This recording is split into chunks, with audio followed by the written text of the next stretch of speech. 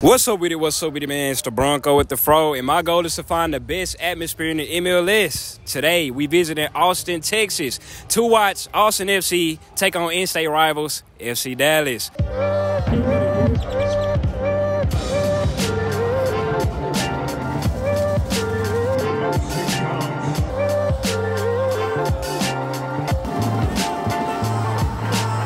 The rubric I'm using to find the best atmosphere in the MLS is I'm ranking the stadium, the supporter section, the crowd, and the quality of football out of 10 and coming up with a composite score at the end to see which team reigns supreme. This week, we got Austin FC as they take on in-state rivals, FC Dallas. Let's see where it goes down. So you already know, man, we FC Dallas, so I got me a ticket in the away section. I know everybody wanted me to go to the supporter section. Because I'm an FC Dallas fan, I'm going to try to be 100% neutral, like on everything and like on the whole experience, you feel me? Aside from the actual game, I'm going to go in everything with like an open mind. So the stadium was a unique one from the back, it ain't really look too too appealing. It kind of looked makeshift like a recyclable stadium. It looked like they threw a snow sled on top of that hoe. I had to walk around and try and get like a better view. And from the front, it, it, it looked a little bit prettier, you know. It's a nice tie between modern and traditionalistic. You know, you got the modern glass look, and then behind it, you just got straight traditional regular stadium. Pre-game festivity-wise, they didn't really have too much. They had a social area outside the stadium, turf plastered around, different stands and stuff. You could get drinks or that was passing out free peanuts, but it really wasn't nothing to write home about. The inside of the stadium was very generic. There's nothing really much to say about it. It's a green, regular, traditional soccer stadium, bro. now, the team store is what ended up impressing me. This item store, literally, it has everything. Anything you need, Austin FC, they got blankets, they got neck warmers, they got dog toys, they got chapstick, they got shoes, anything you name, keychains, jerseys, of course. This is not your average team store. It's two floors. We literally on the second floor right now. The team store legit, bro. What's up, bro? Yeah, what's up? Now we finna make our way to our seats, and this is where the discrepancy starts because, like I said, I'm sitting in the away section, which was filled with FC Dallas supporters beating on drums and playing instruments, so it was very hard to get a feel or hear or get a vibe from Austin supporter section and Austin's crowd. Austin's supposed to be doing a ceremony or something, but the FC Dallas boys,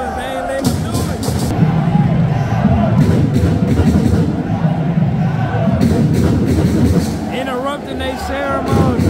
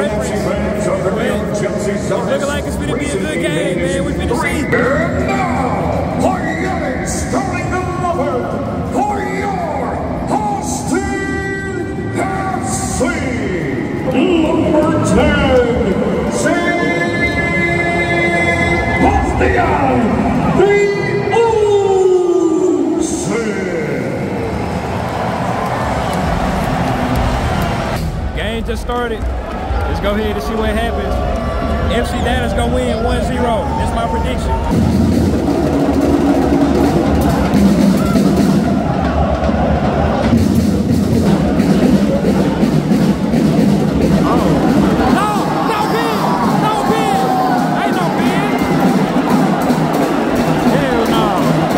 Your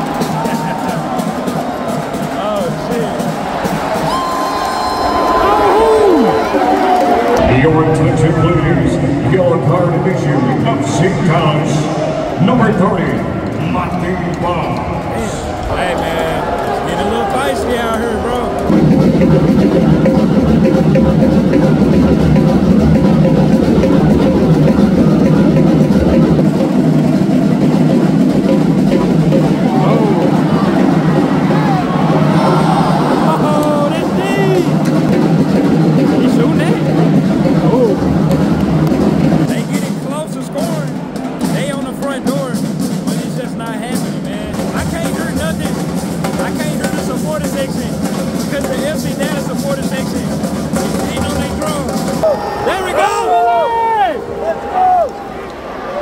Ah, God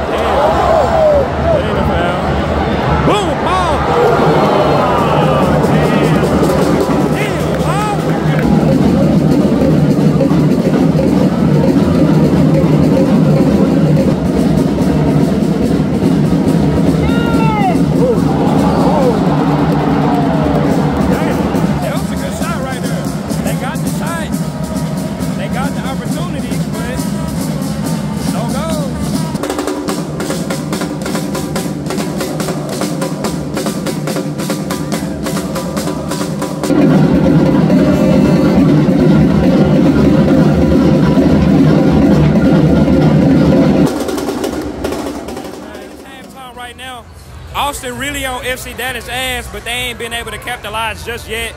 I do think, by the way, the first half went, they are going to be able to get them a goal. I'm probably finna try and change my seat or try and work around so I can get like a better view of the supporter section and the crowd in general. Because you can hear it in the video behind us.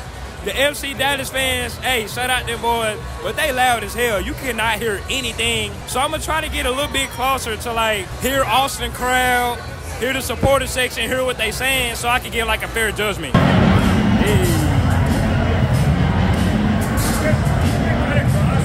Second half just started. Let's see. So during this moment, I was still trying to get footage of the game, like different angles and stuff. And I was finna walk around to the other side of the stadium to try and get a better angle. And I told my girl, I said, the minute we move from this spot, somebody go score. And guess what the hell happened? FC Dallas, goddamn, score! Ah! Oh, FC, I told, what did I tell you, bro? But he ran to the side and celebrated with the away fans and everything, bro. I was supposed to be up there, bro.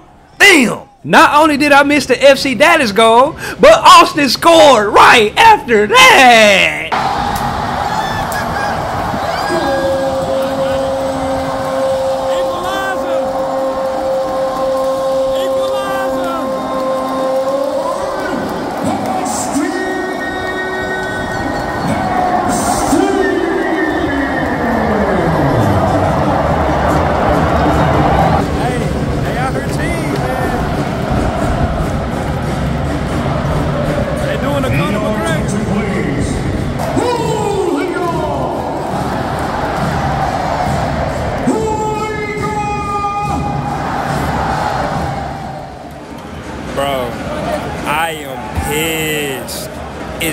As I moved around, I was getting footage of the supporter section. As soon as I moved around to get some more footage, boom, goal. Moved again, boom, goal. I missed both goals, bro. I'm pissed, fool. God damn. At least I got the crowd reaction, I guess.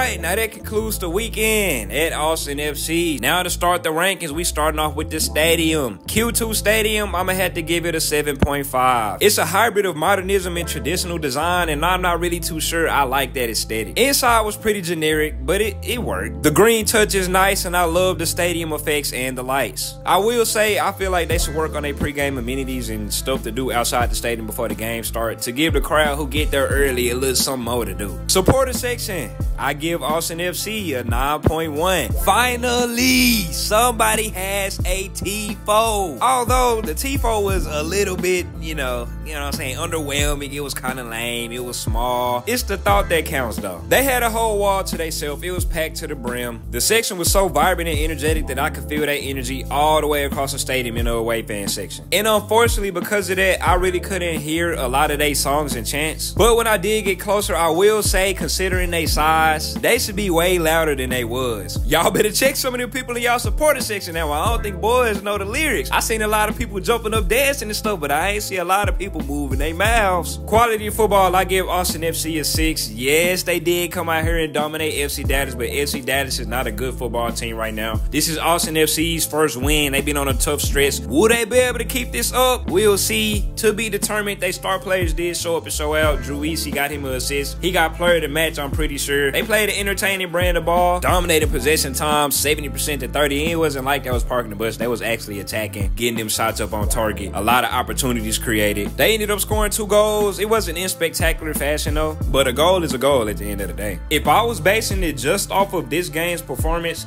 then it would be higher. It would be more like a 7.5, but I got to start taking overall performance and everything into account. Austin FC is at the bottom of the standings in the MLS. And last but not least for the crowd, I'm gonna give him a 7.8. It's basically a upper tier bare bones MLS crowd. You celebrate when a team score. You boo when something you don't like happens on the field, but nothing really too out of the ordinary happened. I am impressed by the attendance numbers. The stadium was damn near sold out. It holds like 20,000 something, and the attendance was 20,000 something. So they did a good job packing it out. But I just feel like y'all need some coordinated chants. I didn't even hear a let's go Austin. Like that's the most bare bones thing you can say. The only thing I heard they got the whole stadium on one accord is when y'all score and a uh, announcer said the first name of the player and then the crowd said the last name and everybody said it so y'all had the participation so I just don't understand why y'all need to get together and and, and, and, and get that whole rocking man. So overall, Austin FC comes down with a total composite score of a 7.6 which moves it in third place on my list behind Atlanta United and Inter Miami. Next weekend, we going to Los Angeles, California. LAFC versus LA Galaxy. El Trafico. It's gonna be a live one, man. I'll see y'all there. I'm out.